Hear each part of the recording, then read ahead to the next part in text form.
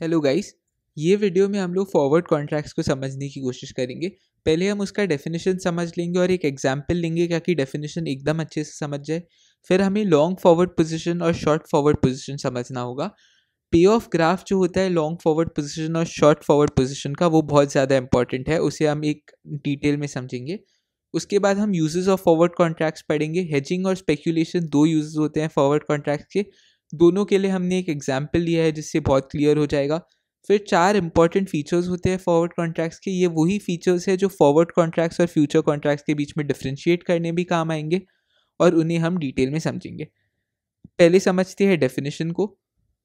Forward पहले, पहली चीज़ तो जो दिमाग में रखती है forward is a contract between two parties तो उस कॉन्ट्रैक्ट में क्या लिखा है? One party agrees to buy one party agrees to sell a physical और अ फाइनेंशियल एसेट तो ये जो फ़िज़िकल और फाइनेंशियल एसेट है, ये कुछ भी हो सकता है गोल्ड हो सकता है सिल्वर हो सकता है बिटकॉइन हो सकता है शेयर्स ऑफ़ अ कंपनी हो सकता है एनी फ़िज़िकल और financial asset at a specific price on a specific date in the future तो एक कॉन्ट्रैक्ट हो रहा है दो पार्टीज़ के बीच में वेर इन आज वो कॉन्ट्रैक्ट होगा one party agrees to buy one party agrees to sell a physical और a financial asset at a specific price तो कॉन्ट्रैक्ट में प्राइस लिख चुका रहेगा कि ये प्राइस पे वन पार्टी विल बाय ये पार्टी पे, ये प्राइस पे one party will sell in the future तो वो लोग फ्यूचर में खरीदने और बेचने की बात कर रहे हैं। कॉन्ट्रैक्ट आज हो रहा है, लेकिन वो लोग बाय और सेल करेंगे इन द फ्यूचर उसके बाद हम एक एग्ज़ाम्पल लेते हैं। एग्ज़ाम्पल से बहुत क्लियर हो जाएगा। तो इस केस में दो पार्टीज़ है। Hrithik is the first party और Abhishek is the second party Hrithik agrees to buy gold तो पहला कंडीशन सेटिस्फाई हो गया। One party agrees to buy Abhishek agrees to sell gold तो अभिषेक जो सेकेंड पार्टी है one party agrees to sell तो second condition satisfy हो चुका है। थर्ड है अ फ़िज़िकल और अ फाइनेंशियल एसेट ये थर्ड कंडीशन है। तो Hrithik agree to buy gold and Abhishek agree to sell gold तो गोल्ड इस केस में हमारा फ़िज़िकल और फाइनेंशियल एसेट हो गया। एट अ स्पेसिफिक प्राइस तो हमारा जो स्पेसिफिक प्राइस है, वो इस केस में है three hundred dollars per ounce three hundred dollars पर आउंस का हमारा स्पेसिफिक प्राइस है three months from today on a specific date in the future तो तो जो हमारी फिफ्थ कंडीशन है on a specific date in the future वो भी सेटिस्फाई हो गई क्योंकि वो लोग बोल रहे हैं, Hrithik is agreeing to buy gold three months later and Abhishek is agreeing to sell gold three months later price decided है फ्यूचर में सेल होने वाला है फ्यूचर में बाय होने वाला है, ये डिसाइडेड है। और Hrithik will buy and Abhishek will sell asset is gold तो ये होता है फॉरवर्ड कॉन्ट्रैक्ट का डेफिनेशन अब अपन चलते हैं लॉन्ग फॉरवर्ड पोजिशन क्या होता है? लॉन्ग फॉरवर्ड पोजिशन कुछ नहीं होता. The party that agrees to buy gold in the future the party that agrees to buy the physical और the financial asset in the future is the long forward position तो इस case में, अपने case में Hrithik has agreed to buy gold in the future क्योंकि he has agreed to buy the physical और the financial asset अपने case में Hrithik is the long forward position तो ये हो गया लॉन्ग फॉरवर्ड पोजिशन होता क्या है? अब हमें समझना है कि एक्सपेक्टेशन क्या होती है लॉन्ग फॉरवर्ड पोजिशन की? अपने केस में लॉन्ग फॉरवर्ड पोजिशन ऋतिक है तो एक्सपेक्टेशन क्या है ऋतिक की? जिसकी वजह से वो लॉन्ग फॉरवर्ड पोजिशन में एंटर किया। अब हमें, मैं लिख चुका हूँ expects expectation of Hrithik is he expects the future spot price of the asset to go above the delivery price इसका मतलब समझते हैं बट इसका मतलब समझने से पहले डिलीवरी प्राइस होता क्या है? डिलीवरी प्राइस वो होता है जो कॉन्ट्रैक्ट में मैंशनड है। तो दोनों पार्टीज़ के बीच में एक कॉन्ट्रैक्ट हो रहा है। वो कॉन्ट्रैक्ट में जो प्राइस मैंशनड है जिसपे ऋतिक खरीदेगा और जिसपे अभिषेक सेल करेगा इन द फ्यूचर वो प्राइस को हम डिलीवरी प्राइस पूछते हैं, कहते हैं। तो डिलीवरी प्राइस इस केस में थ्री हंड्रेड डॉलर्स है। ऋतिक उस प्राइस पे बाय करेगा, अभिषेक उस प्राइस पे सेल करेगा। फ्यूचर स्पॉट प्राइस मतलब क्या है? फ्यूचर स्पॉट प्राइस क्या होता है? Hrithik has agreed to buy gold three months into the future तो तीन महीने बाद जो मार्केट में गोल्ड का प्राइस चल रहा होगा, उसे हम कहते हैं future spot price future spot price मतलब वो प्राइस अभी कॉन्ट्रैक्ट में क्या लिखा है? Three months later Hrithik will buy gold और कॉन्ट्रैक्ट में लिखा है three months later Abhishek will sell gold तो थ्री मंथ्स लेटर उस डेट पे, जिस पे अभिषेक और ऋतिक बाय और सेल कर रहे हैं, उस दिन पे जो मार्केट में गोल्ड का प्राइस चल रहा है, उसे हम लोग फ्यूचर स्पॉट प्राइस कहते हैं। अब हम लोग इमेजिन करते हैं कि ऋतिक का एक्सपेक्टेशन क्या है। मैंने लिखा है द एक्सपेक्टेशन ऑफ़ ऋतिक और the expectation of the long forward position is future में जो प्राइस है फ्यूचर में जो प्राइस है, वो डिलीवरी प्राइस से ज़्यादा होगा। ये मैं लिख चुका हूँ। अब इसको एक एग्ज़ाम्पल लेके समझते हैं। अगर फ्यूचर ऋतिक का एक्सपेक्टेशन है कि फ्यूचर में गोल्ड का प्राइस है two hundred and eighty dollar three months later Hrithik का एक्सपेक्टेशन है price of gold is two hundred and eighty dollar तो वो क्या ऐसा कॉन्ट्रैक्ट एंटर करता क्या, जिसमें he will get to buy gold at three hundred dollar forwards में ऑब्लिगेशन होता है तो Hrithik has to buy gold at three hundred dollars and Abhishek has to sell gold at three hundred dollars अगर ऋतिक का expectation होता कि gold का price future में टू एट्टी डॉलर होने वाला है तो why would he enter into a contract which obligates him to buy gold at three hundred dollars why would he buy something at three hundred dollars when he can buy it at two eighty dollar तो उसका expectation ये तो हो ही नहीं सकता कि price of gold two eighty dollar होने वाला है। अगर ये उसका एक्सपेक्टेशन होता कि टू एट्टी डॉलर होने वाला है तो वो फॉरवर्ड कॉन्ट्रैक्ट कभी एंटर करता ही नहीं। तो उसका एक्सपेक्टेशन होता है कि price of gold in the future three hundred से कुछ तो ज़्यादा होगा। मतलब future spot price delivery price से ज़्यादा होगा। तो अगर future spot price three hundred and twenty dollar हुआ, ऋतिक के पास और अभिषेक के पास, ऋतिक के पास ऑब्लिगेशन टू बाय है, अभिषेक के पास ऑब्लिगेशन टू सेल है। तो Hrithik will buy gold at three hundred dollar जब मार्केट में प्राइस चल रहा थ्री ट्वेंटी डॉलर तो उसको थ्री ट्वेंटी की चीज़ थ्री हंड्रेड में बाय करने का चांस मिल रहा है। तो इसका मतलब हो गया ना कि उसका डायरेक्ट डायरेक्ट ट्वेंटी डॉलर का प्रॉफिट हो गया। तो इसके लिए ये लिखते हैं कि जो लॉन्ग फॉरवर्ड पोजिशन होता है, उसका एक्सपेक्टेशन है कि जो फ्यूचर स्पॉट प्राइस होगा, वो डिलीवरी प्राइस से ज़्यादा होगा। अब ये चीज़ दिमाग में रखना ज़रूरी है कि three months later forward contract में both parties are obligated to perform irrespective of the future spot price future में गोल्ड का प्राइस तीन महीने बाद गोल्ड का प्राइस कुछ भी हो ऋतिक और अभिषेक को गोल्ड बाय और सेल कॉन्ट्रैक्ट के हिसाब से करना ही है। ये ऑब्लिगेशन है दोनों पार्टीज़ पर। अब मल्टीपल एग्जाम्पल्स लेते हैं। पहले एग्ज़ाम्पल तो मैंने बता दिया। फ्यूचर स्पॉट प्राइस हो चुका है थ्री ट्वेंटी डॉलर और डिलीवरी प्राइस हो रहा है थ्री हंड्रेड डॉलर हम लॉन्ग फॉरवर्ड पोजिशन के परस्पेक्टिव से देख रहे हैं। लॉन्ग फॉरवर्ड पोजिशन मतलब the party that agrees to buy तो Hrithik is the long forward position he gets to buy at three hundred dollar और मार्केट प्राइस चल रहा है थ्री ट्वेंटी डॉलर इसका सीधा सीधा यही मतलब है कि Hrithik is buying a thing for three hundred dollar जिसका actual value three twenty dollar चल रहा है मार्केट में तो उसका ट्वेंटी डॉलर प्रॉफिट हो गया। अब सेकेंड केस में फ्यूचर स्पॉट प्राइस हो गया है two ninety dollar Hrithik has agreed to buy तो he is buying at three hundred dollar ऐसी चीज़ जिसका मार्केट में प्राइस वो दिन पे टू नाइन्टी डॉलर है तो उसका दस डॉलर का नुकसान हो गया। इस केस में भी उसको अभिषेक से गोल्ड बाय करना ही पड़ेगा बिकॉज़ फॉरवर्ड कॉन्ट्रैक्ट्स में ऑब्लिगेशन होता है। अब थर्ड सिनारियो इंपॉर्टेंट है समझना। फ्यूचर स्पॉट प्राइस ज़ीरो हो गया है मतलब तीन महीने बाद गोल्ड का प्राइस ज़ीरो हो गया है मार्केट में। Gold has lost all its value किसी को गोल्ड नहीं खरीदना, इसके लिए मार्केट में प्राइस ज़ीरो हो गया है। इस केस में भी Hrithik is obligated to buy gold from Abhishek at three hundred dollar तो ऋतिक ऐसी चीज़ खरीद रहे हैं जिसका वैल्यू ज़ीरो डॉलर है थ्री हंड्रेड डॉलर्स में। मतलब उसका सीधा सीधा तीन सौ रुपये का तीन सौ डॉलर का नुकसान हो गया। तो थ्री हंड्रेड डॉलर्स में ही is ready to buy something जिसका मार्केट में वैल्यू ज़ीरो डॉलर है तो उसका उसका loss is three hundred dollar itself because he is buying something that is worth zero dollar at three hundred dollar अब zero dollar से कम future में प्राइस जा सकता है क्या? नहीं ज़ीरो डॉलर से कम तो थ्री महीने बाद प्राइस जा ही नहीं सकता। तो इसका क्या मतलब हुआ? मैक्सिमम पॉसिबल डाउन साइड जो ऋतिक को है मतलब maximum possible downside for the long forward position is the delivery price itself ये समझना ज़रूरी है। Three hundred dollar delivery price था। स्पॉट प्राइस तो ज़ीरो डॉलर से कम जा ही नहीं सकता। He will be ready to buy at three hundred dollar जिसका वैल्यू ज़ीरो डॉलर है। तो उसको थ्री हंड्रेड डॉलर का लॉस हो गया which is the delivery price it self और ये है maximum possible downside for the long forward position अब हमने और एग्जाम्पल्स ली है। फोर हंड्रेड डॉलर मार्केट में प्राइस चल रहा है और थ्री हंड्रेड डॉलर में ऋतिक बाय कर रहा है। तो Hrithik is buying something at three hundred dollar जिसका market price four hundred dollar है तो उसको हंड्रेड डॉलर का प्रॉफिट हो गया।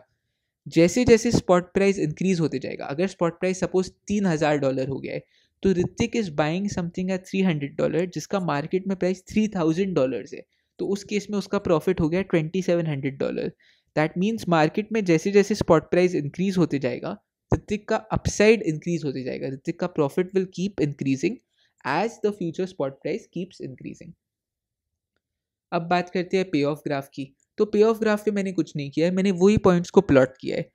एक्स एक्सिस पे है future spot price Y axis पे है पे ऑफ़ अपन एक्स एक्सिस पे फ्यूचर स्पॉट प्राइस में 310 डॉलर्स को देखो। 310 डॉलर फ्यूचर स्पॉट प्राइस है। फ्यूचर स्पॉट प्राइस मतलब तीन महीने बाद का मार्केट प्राइस तीन महीने बाद मार्केट प्राइस चल रहा है 310 डॉलर लॉन्ग फॉरवर्ड पोजिशन यानी कि Hrithik gets to buy at 300 dollar irrespective of market price क्या है। तो अगर उसको 300 डॉलर में बाय करने का मौका मिल रहा है, ऐसी चीज़ जिसका फ्यूचर स्पॉट प्राइस या market price in the future 310 dollar है तो उसका सीधा सीधा 10 डॉलर प्रॉफिट हो गया, जो मैंने वाई एक्सिस पे पे ऑफ़ में प्लॉट किया है। ऐसे ही 340 का भी मैंने प्लॉट किया है, जो मैंने एक्सप्लेन भी किया। एक लेफ़्ट साइड पे देख लेते हैं। लेफ़्ट साइड पे 280 डॉलर। 280 डॉलर मतलब फ्यूचर स्पॉट प्राइस मतलब spot price in the future या market price in the future वो 280 डॉलर चल रहा है। ऋतिक को अभी भी 300 डॉलर में बाय करना पड़ेगा। तो वो 300 डॉलर में बाय कर रहे हैं ऐसी चीज़ जिसका मार्केट में वर्थ है 280 डॉलर तो उसका नुकसान हो गया 20 डॉलर जो मैंने पे ऑफ़ पे प्लॉट किया है। अब ये चीज़ देखना इंपॉर्टेंट है कि वाई एक्सिस जहाँ ग्राफ को मीट करी है वाई एक्सिस जो पे ऑफ़ का एक्सिस है, वो जहाँ ग्राफ को मीट करी है minus three hundred dollar maximum possible downside उस केस में आप देख सकते हैं स्पॉट प्राइस ज़ीरो है। तो जब स्पॉट प्राइस ज़ीरो होगा तो Hrithik is buying something at three hundred dollar जिसका मार्केट वैल्यू हो चुका है ज़ीरो तो उसका downside maximum possible downside is minus three hundred dollars अब अपन बात करते हैं शॉर्ट फॉरवर्ड पोजिशन की। Short forward position the party that agrees to sell the physical और the financial asset in the future is the short forward position इस case में, Abhishek is the short forward position because Abhishek has agreed to sell gold in the future Abhishek has agreed to sell gold in the future Abhishek has agreed to sell the physical और the financial asset in the future therefore he is the short forward position अब short forward position का expectation क्या होगा? मैं इधर लिख चुका हूँ। Expect the future spot price future spot price मतलब कुछ नहीं। तीन महीने बाद का market price of the asset to go below the delivery price delivery price अपन बात कर चुके हैं। It is the price that is mentioned in the contract तो ये कंसिडर करो, अभिषेक ने एक कॉन्ट्रैक्ट एंटर कर चुका है कि मैं तीन महीने बाद गोल्ड सेल करूँगा थ्री हंड्रेड डॉलर में। अगर उसका एक्सपेक्टेशन होता कि थ्री मंथ्स बाद का गोल्ड का प्राइस थ्री ट्वेंटी डॉलर है तो वो क्या है ऐसे कॉन्ट्रैक्ट में एंटर करता क्या? तीन महीने बाद अगर गोल्ड का प्राइस थ्री ट्वेंटी डॉलर है तो Abhishek can sell gold at three twenty dollar ना? Why will he agree to a contract to sell gold at three hundred dollar if he is expecting the price to go to three twenty dollar वो कभी enter करेगा ही नहीं। तो expectation क्या होता है short forward position का? कि प्राइस डिलीवरी प्राइस से कम हो जाएगा। मतलब फ्यूचर में प्राइस अगर टू अभी ये समझो फ्यूचर में प्राइस टू एट्टी हो गया है। अगर फ्यूचर में प्राइस टू एट्टी हो गया है तो अभिषेक को कितने में सेल करने मिल रहा है? थ्री हंड्रेड पे। Because he has an obligation to sell at three hundred market में प्राइस चल रहा है टू एट्टी मतलब मार्केट में वो चीज़ टू एट्टी का सेल हो रहा है। तो Abhishek is getting to sell at three hundred something that is worth only two eighty तो उसको ट्वेंटी डॉलर का प्रॉफिट हो गया ना तो इसके लिए कहते हैं कि expectation of the short forward position is कि the future spot price will go below the delivery price अब इसके भी एग्जाम्पल्स लेते हैं। पहला पहला एग्ज़ाम्पल फ्यूचर स्पॉट प्राइस हो गया है three twenty dollar Abhishek has to sell at the delivery price Abhishek has to sell at three hundred dollar future spot price हो गया है three hundred and twenty dollar तो he could have sold for three twenty मतलब he is selling something for three hundred जिसका market में ही selling price three twenty चल रहा है तो उसको नुकसान हो गया ना माइनस ट्वेंटी डॉलर का। अब सेकेंड एग्ज़ाम्पल सेकेंड एग्ज़ाम्पल में he is getting to sell at three hundred dollar जिसका मार्केट में selling price two ninety dollar चल रहा है तो सीधा सीधा टेन डॉलर प्रॉफिट हो गया। Third case third case again important maximum possible upside for short forward जितना maximum possible downside for long forward था, उतना ही maximum upside for short forward होगा। तो इस केस में क्या स्पॉट प्राइस ज़ीरो के नीचे जा सकता है क्या फ्यूचर में? अपन ने बात की स्पॉट प्राइस तो ज़ीरो से नीचे जा ही नहीं सकता। किसी भी चीज़ का प्राइस ज़ीरो से नीचे नहीं जा सकता। तो अगर प्राइस ज़ीरो चला गया है तो Abhishek is still getting to sell at three hundred dollars because उसके कॉन्ट्रैक्ट में लिखा है कि he gets to sell at three hundred dollar जिसका मार्केट में सेल कुछ हो ही नहीं रहा। कोई खरीदने को तैयार नहीं है ज़ीरो डॉलर हो चुका है सेलिंग प्राइस तो Abhishek is getting to sell at three hundred dollar something that is worth zero dollar तो उसका प्रॉफिट थ्री हंड्रेड डॉलर और थ्री हंड्रेड डॉलर से ज़्यादा उसका प्रॉफिट हो ही नहीं सकता, क्योंकि स्पॉट प्राइस ज़ीरो से नीचे जा ही नहीं सकता. फ्यूचर प्राइस ज़ीरो से नीचे नहीं जा सकता.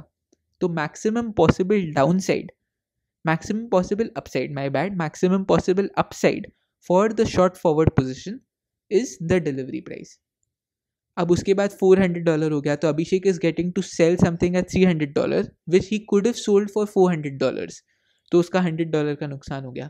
ऐसी ऐसी स्पॉट प्राइस जैसे जैसे बढ़ते जाएगा, अभिषेक का लॉस विल कीप इंक्रीजिंग तो जो डाउन साइड है अभिषेक के लिए, वो अनलिमिटेड है। For the short forward position the downside keeps increasing as the spot price future spot price keeps increasing अब अपन बात करते हैं पे ऑफ़ ग्राफ की। तो पे ऑफ़ ग्राफ में मैंने वही पॉइंट्स प्लॉट किए हुए हैं। आप देख सकते हैं future spot price future spot price मतलब price of the asset in the future तो थ्री ट्वेंटी डॉलर अगर फ्यूचर स्पॉट प्राइस पे देखेंगे आप मतलब मार्केट में प्राइस चल रहा है थ्री ट्वेंटी डॉलर अभिषेक को सेल करने मिल रहा है थ्री हंड्रेड डॉलर में। इसके लिए उसका पे ऑफ़ जो हो गया, वो माइनस ट्वेंटी डॉलर हो गया। अब इसमें आप मैक्सिमम पॉसिबल अपसाइड देख सकते हैं। मैंने एक्सप्लेन कर दिया है maximum possible upside three hundred dollar is the maximum possible upside अब नेक्स्ट पे चलते हैं। Next is uses of forward contracts इसको हम एक एग्ज़ाम्पल लेके समझेंगे। फॉरवर्ड कॉन्ट्रैक्ट्स के दो यूजेस होते हैं हेजिंग और स्पेक्यूलेशन हेजिंग का मतलब होता है रिडक्शन इन रिस्क रिस्क को हटाने को हेजिंग कहते हैं। अब एक एग्ज़ाम्पल कंसिडर करते हैं। एक फार्मर है। उस फार्मर को मालूम है कि तीन महीने बाद मेरे पास वन थाउज़ेंड के जी ऑफ़ वीट रेडी होने वाला है। उस वन थाउज़ेंड के जी ऑफ़ वीट को उस फार्मर को सेल करना है और जितने में वो फार्मर उसको सेल करेगा उतना उसका साल का इनकम होगा। तो रिस्क तो है because he has to sell wheat wheat का प्राइस फ्लक्चुएट होने वाला है।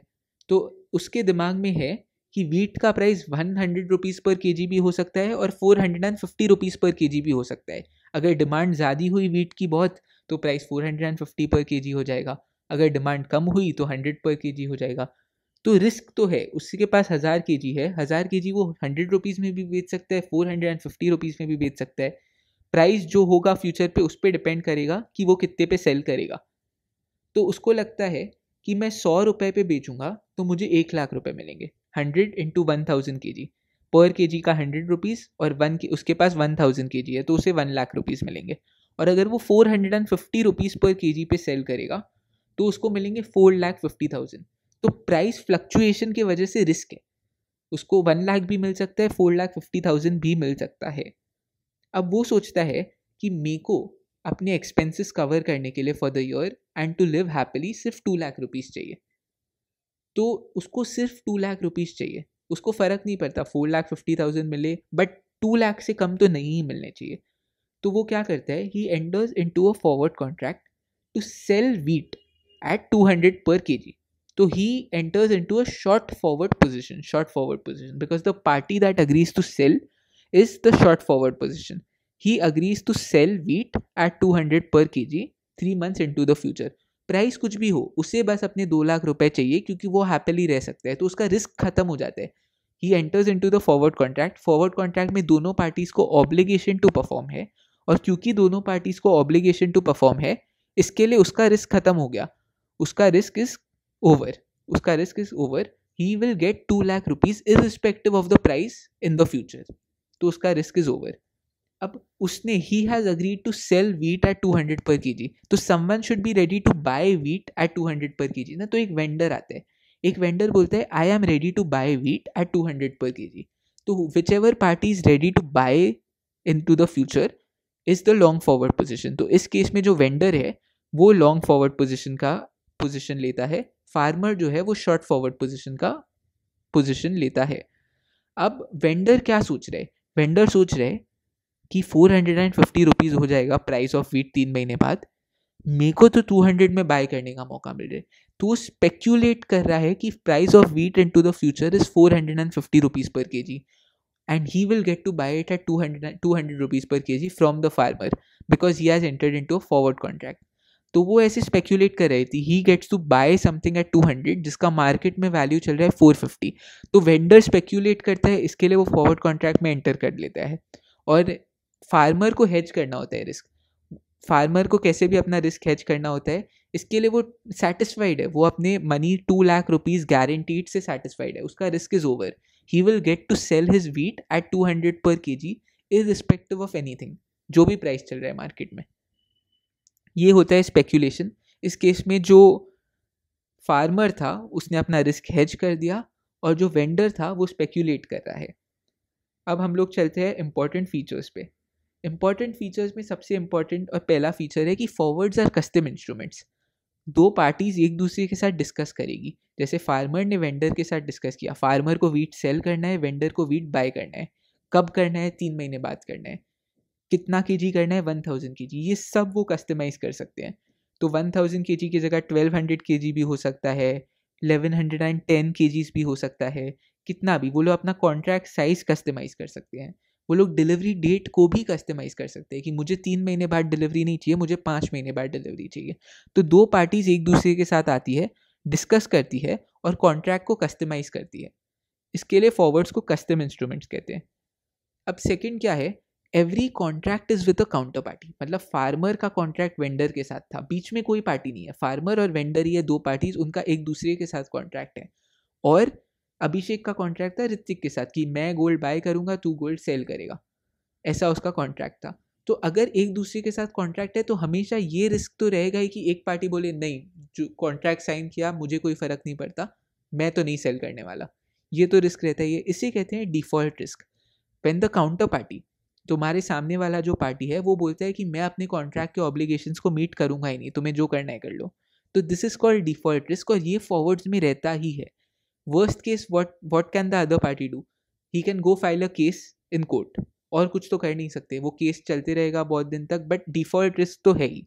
When the other party does not obligate its commitments does not meet its commitments default risk रहता ही है because every contract is with a counter party अब they can be either deliverable और cash settled तो deliverable का मतलब होता है फार्मर वीट जाके वेंडर को डिलीवर करके आएगा।